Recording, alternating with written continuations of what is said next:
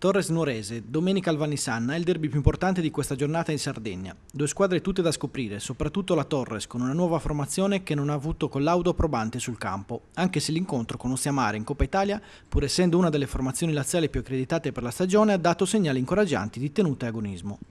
I nuoresi avranno il loro perno principale nelle giocate di Molino, il giocatore di rifinitura nella formazione barbaricina, mentre i sassaresi contrappongono la fantasia e la qualità di Roberto Merino, l'uomo che ha dimostrato di segnare e di far segnare.